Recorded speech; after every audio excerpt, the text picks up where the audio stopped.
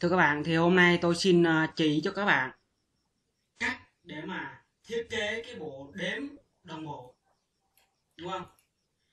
Thì à, bộ đếm đồng bộ ấy, tôi xin nói với các bạn ấy, bộ đếm đồng bộ là gồm có à, bộ đếm là nó gồm có bộ đếm đồng bộ này, bộ đếm không đồng bộ. Đối với bộ đếm đồng bộ thì có bộ đếm tiếng, bộ đếm lùi. Đối với bộ đếm không đồng bộ cũng có loại là bộ đếm tiếng và bộ bộ đếm lùi vậy thì quy trình các bước à, để mà chúng ta thiết kế cái bộ đếm đồng bộ ra sao? Bước đầu tiên của chúng ta đó là phân tích. Chúng ta phân tích cái gì? Phân tích yêu cầu. Yêu cầu thiết kế. Vẽ dạng đồ sung mô tả.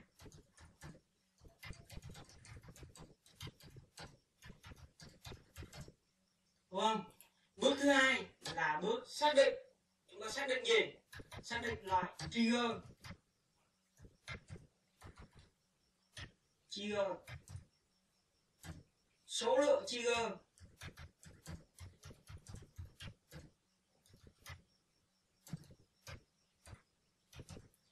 tôi xin nhắc lại. Bước này và nó là một bước rất là quan trọng. Bước thứ ba là chúng ta lập bảng trạng thái lập bảng của bộ đếm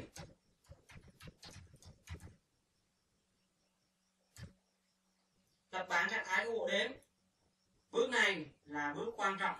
Thứ hai. Ờ, ở bước tiếp theo là chúng ta lập bảng mối quan hệ giữa đầu vào và đầu ra của bộ bộ đếm.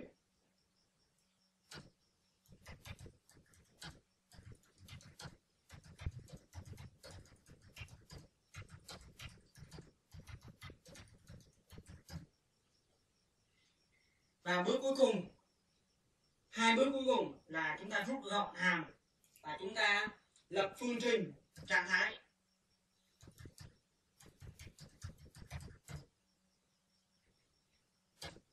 Và bước chúng ta thu hoạch đó, đó là chúng ta vẽ sơ đồ logic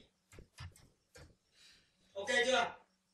Bây giờ tôi sẽ nhìn tổng quan lại một lần nữa về các bước để mà chúng ta xây dựng một cái bộ đếm đồng bộ nhé. Tôi nhấn mạnh ở đây là tôi chỉ ờ, cho các bạn vẽ bộ đếm đồng bộ thôi. Trigger.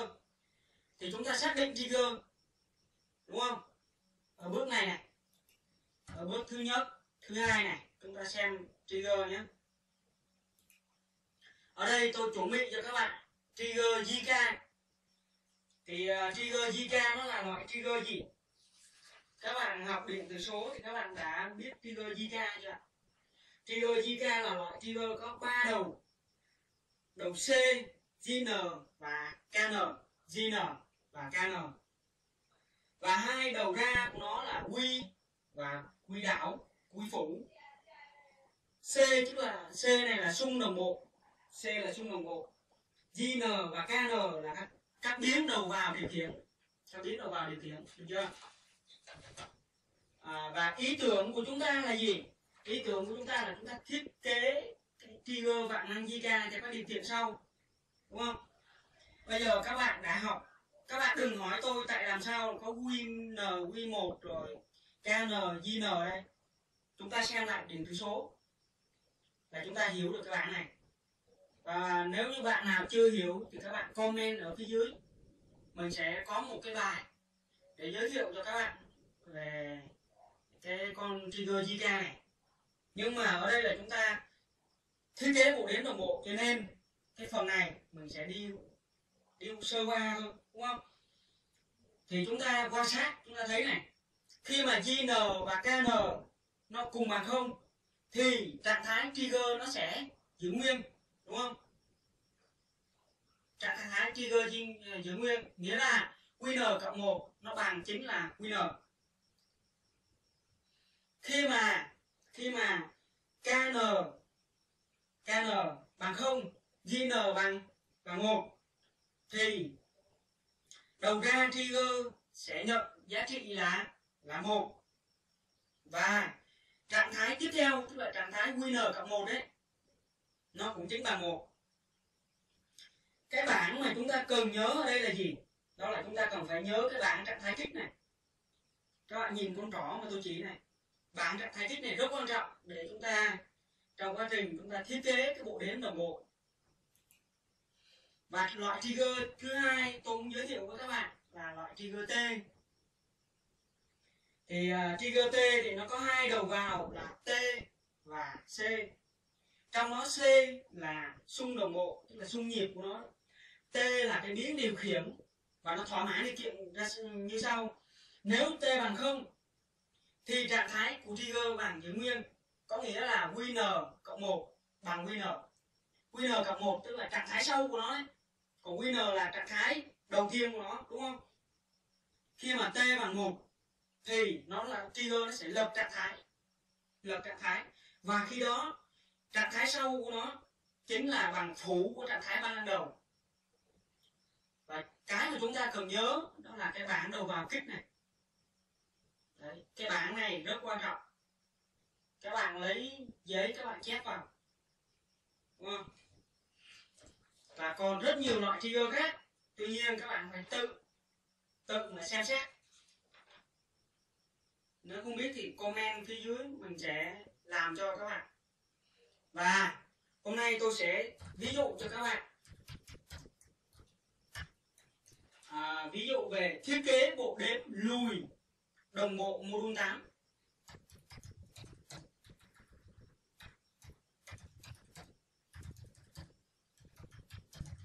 bộ đếm lùi đồng bộ. Nhớ là đồng bộ nhá module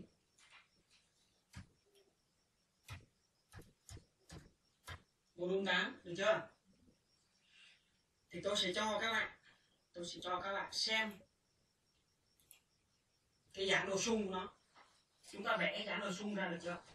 Chúng ta thấy này module 8 thì nó gồm có 8 cái.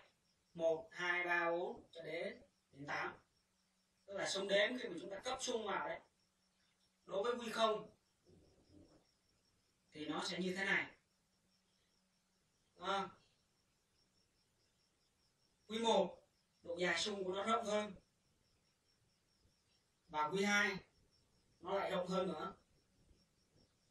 Chúng ta lấy bút lấy vở chúng ta chép vào cái dạng đồ sung này nhé. Được chưa? Có bạn nào không hiểu cái dạng đồ sung này không? Thì ban đầu nhé. Ban đầu sung đếm của nó như thế này sung ra của nó thì nó sẽ rộng hơn hai lần. Rộng một, hai. Và tiếp theo là nó sẽ giảm về không. Cũng một, hai. Độ rộng sung cũng hai. Tiếp theo nó lại tăng lên. Cũng tương tự như thế. Còn cái quy một này, nó lại rộng hơn gấp gấp hai lần của quy quy không. Được chưa? Và chúng ta vào chúng ta thiết kế cho nó. Ở đây tôi đã chuẩn bị cho bạn các bạn là cái bảng trạng thái hoạt động của bộ đếm. Cái này chính là bảng trạng thái hoạt động của bộ đếm. Được chưa? Các bạn à, xem này bộ đếm đối với à, cái trạng thái hiện tại của chúng ta quan sát thấy là chúng ta thấy quy 1 quy 2 quy 0 quy 2 phẩy, quy 0 1 phẩy, quy 0 phẩy.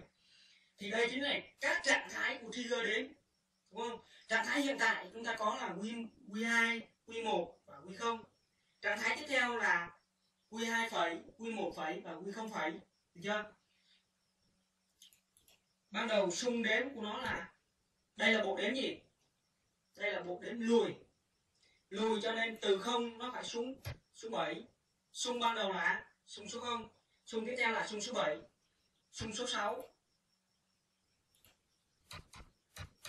để xuống dưới một trang mới đi cho nó dễ xem. Xung thứ 5 xung số 4 xung số 3 số 2 số 1 đến đây là hết rồi. Ở đây là tôi sẽ xóa cái bảng này đi. Vâng. ngon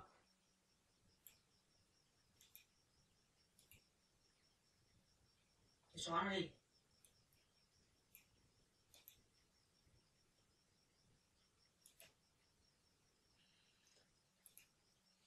À, đối với mà xung đếm xung đếm ở đây ta có này trạng thái xung đếm. À, đối với trạng thái hiện tại chúng là q 2 q 1 và q 0 thì ở đây trạng thái hiện tại nó là không không không tại sao nó là 000 tại vì 4 đến 8 chính là 4 đến 8 này, các bạn quan sát. Đấy này, tôi muốn nói là 8 là bằng hai mũ hai mũ A. Tức là chúng ta sẽ có ba ba giá trị. Ba giá trị. Có nghĩa là không không không không không một đây một một, không gì đấy, đúng không? Trạng thái tiếp theo của nó là là bảy đúng không? Trạng thái tiếp theo nó là bảy chính là một một một. Và trạng thái hiện tại của nó là bảy chính là một một một. Và sau khi bảy nó sẽ xuống sáu đúng không? Nó lùi mà. Thì sáu chính là sáu chính là không một không. À không, nhầm mình nhầm. Sáu chính là một không một. Sáu chính là một không? Một. Đúng không? Và tương tự như thế chúng ta làm các trường hợp còn lại. Ở đây mình nhầm nhá. Sáu chính là à, một một không.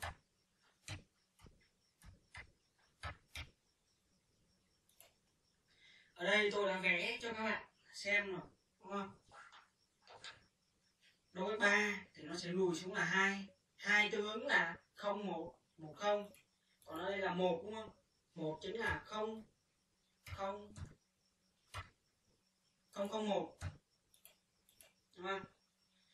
Và từ một nó lại lùi xuống là không. Là không không không. Được chưa? Thì đó chính là cái trạng thái của trigger đếm, trạng thái hiện tại và trạng thái tiếp theo. Trạng thái hiện tại là q2 q1 và q0 trạng thái tiếp theo là q2 phẩy q1 phẩy và q0 phẩy được chưa?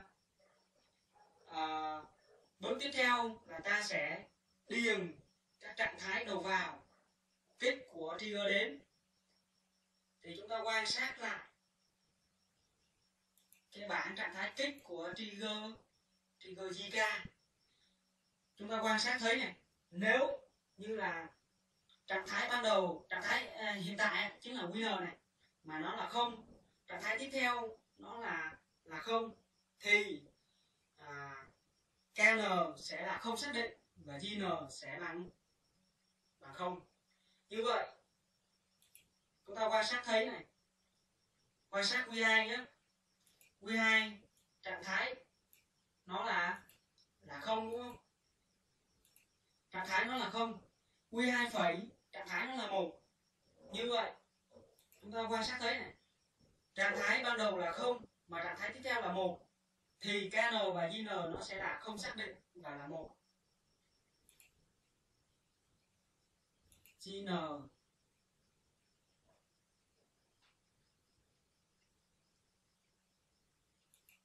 đây là K2 nhé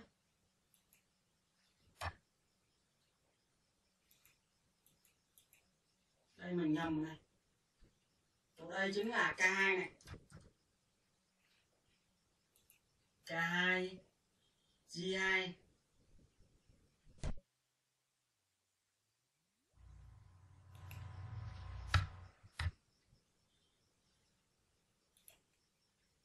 Bây giờ thì tôi sẽ chỉ cho các bạn à, cách để mà chúng ta điền cái bảng trạng thái đầu vào kích của trigger đếm.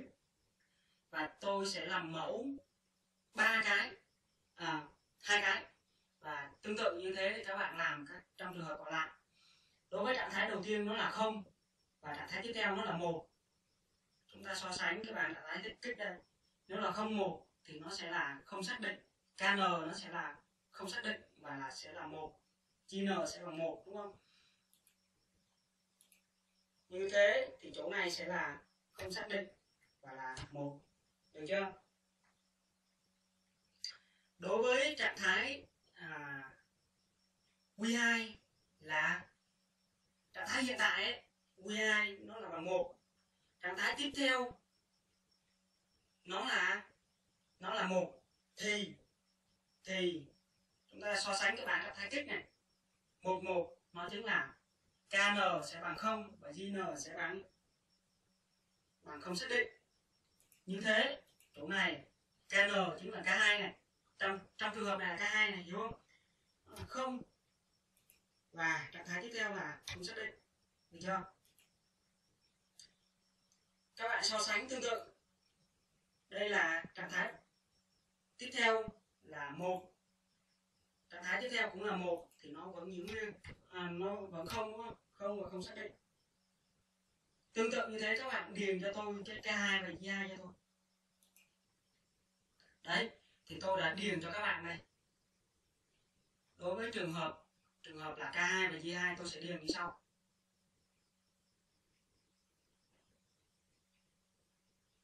Đấy. Và à, tiếp theo là ta sẽ làm k1 và G1 k1 và G1 nhé đây này q1 nó là không. q1 phẩy trạng thái tiếp theo nó là một. Chúng ta so sánh này. Nếu là trạng thái ban đầu là không trạng thái tiếp theo là một thì kn và gn nó sẽ là không xác định và một. Như thế chỗ này là ờ, không xác định và và một. Chưa? Không xác định và một. À, trạng thái tiếp theo nó là một. Chỗ rõ trỏ tôi tôi đặt này nó là một. Trạng thái trạng thái hiện tại nó là một, đúng không? Trạng thái tiếp theo của quy phẩy một nó là là một. Thì thì thì nó sẽ là không và không xác định. GNKN nó sẽ là không và không xác định, đúng không? Không không xác định. Được chưa? Tương tự như thế, tôi sẽ điền. Tôi sẽ điền cho các trường hợp còn lại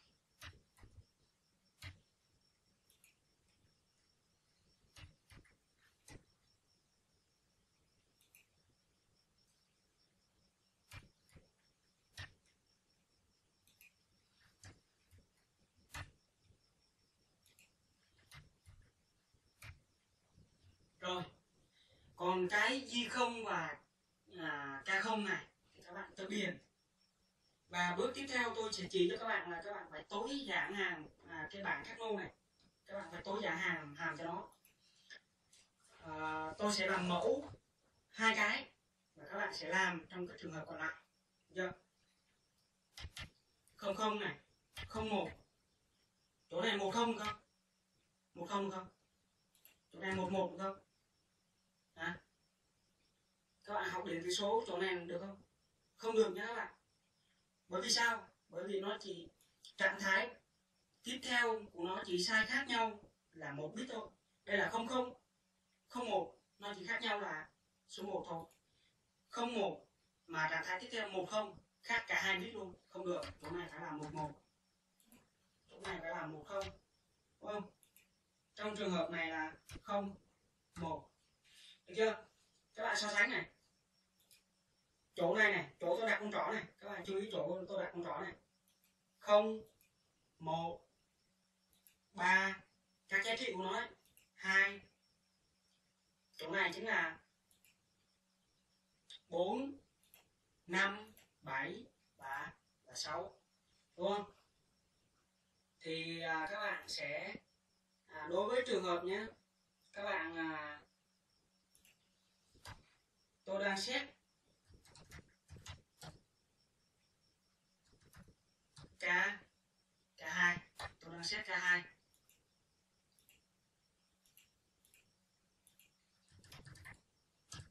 tôi đang xét k2 được chưa? Tôi đang xét k2 thì tôi sẽ xem cái k2 này. Xem cái cột của k2 này. Được chưa? Tôi sẽ xem xét cái cột của nó. Đối với trường hợp bằng không, trường hợp bằng không không này. Được chưa? Thì k2 chính là này chúng ta đối đối đối chiếu ở chỗ bảng này. Thì k2 sẽ bằng bằng không xác định. Này không xác định được chưa? Tương tự không không một không không một chính là chính là một. Chúng ta đối chiếu này một. Ở đây là đây là tương ứng của nó là k2 này. Thì à, một thì nó là tiếp tục là không xác định nữa à, không một một. Không một một.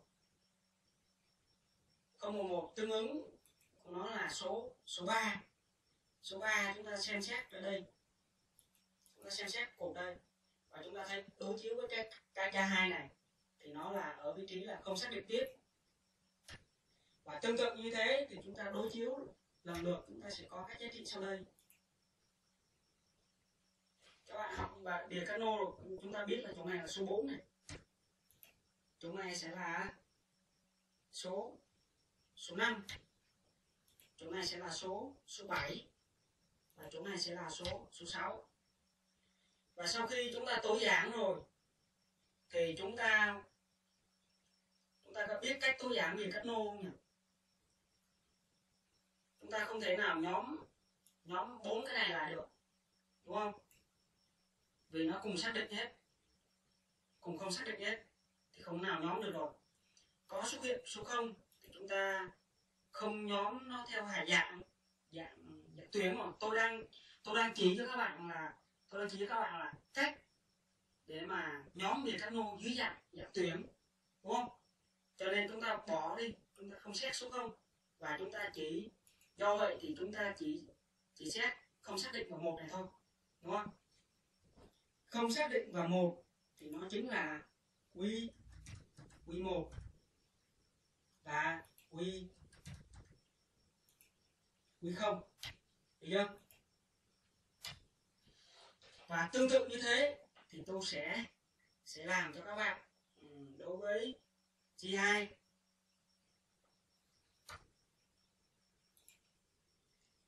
à, cái bước tiếp theo là chúng ta sẽ xét GI đúng không? Thì GI chúng ta sẽ có là à, đây là trong trường hợp không không không chính là giá giá trị không đúng không? Giá trị không thì chi hai sẽ sẽ là một. Chúng ta điền vào đây là là một. Và không không một nó chính là nó chính là một. Một đúng không? Một. Ở đây chúng ta xét một. Một này, chỗ này nó là không này. Đấy. Thì GI nó sẽ bằng không. GI nó bằng không. Các bạn điền vào. Tương tự như thế, các bạn điền cho tôi. Chỗ này chính là không xác định. Không xác định luôn. Không xác định. Không xác định. Đấy. Và các bạn tối giản tôi giảng. Tôi đang xét ở dưới dạng tuyến, cho nên tôi sẽ không quan quan trọng ở số 0 mà tôi sẽ quan trọng là số 1 chúng ta không thể nào không thể nào nhóm bốn cái không xác định lại như ban nãy tôi vừa nói đúng không? Cũng không thể nào nhóm à, chỗ này. Vì nó có sự xuất hiện của số 0 và số 1 chúng ta quan sát thấy số 1 cho nên chúng ta sẽ tối giản nó như cái cái mà tôi đã dấu màu xanh xanh. đấy đấy chúng ta sẽ tối giản cái cột đó. Chúng ta quan sát thấy à chỗ này là quy quy hai nha các bạn. Tôi chưa quên tôi chưa ghi vào. Được chưa? Quy một quy không. À, chỗ này là q2 thì là không một. Chưa? Như vậy là nó, nó không thể nào trong cái G2 không thể nào xuất hiện cái à, cái G2 rồi. Được chưa? Và cái tiếp theo là à, G, ờ, G2 sẽ là không không mà không không nó sẽ là tôi đã xét ở dạng thuyền cho nên nó sẽ có có phủ. Vì có phủ cho nên chúng ta sẽ sẽ điền như sau.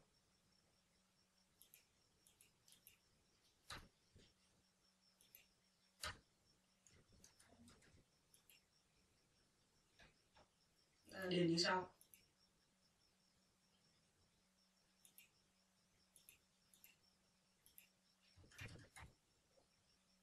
G2 đúng không? Bằng có sự xuất hiện của phủ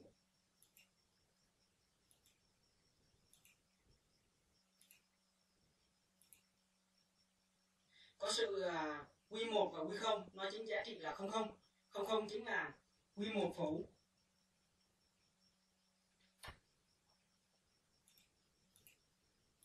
Q1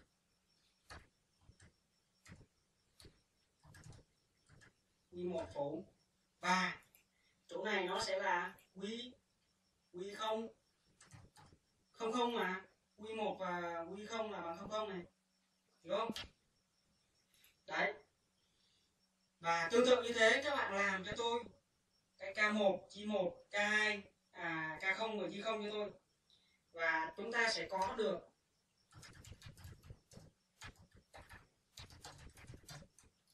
cái phương trình trạng thái bộ đếm nghịch 108